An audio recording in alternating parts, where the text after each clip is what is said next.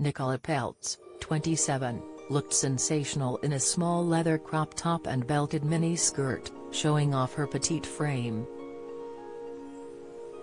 She paired the outfit with black tights and high black stilettos, boosting her height as well as showing off her tone pins. The actress accessorized with a small gold and black clutch bag and wore her dark dresses in a straight style. Brooklyn Beckham, 23, meanwhile looked dapper in a tight-fitted white shirt, paired with smart trousers and Balenciaga trainers. Many other famous faces were at the Balmain show, including Cher who closed the fashion show with a catwalk, slipping into a racy jumpsuit for the number.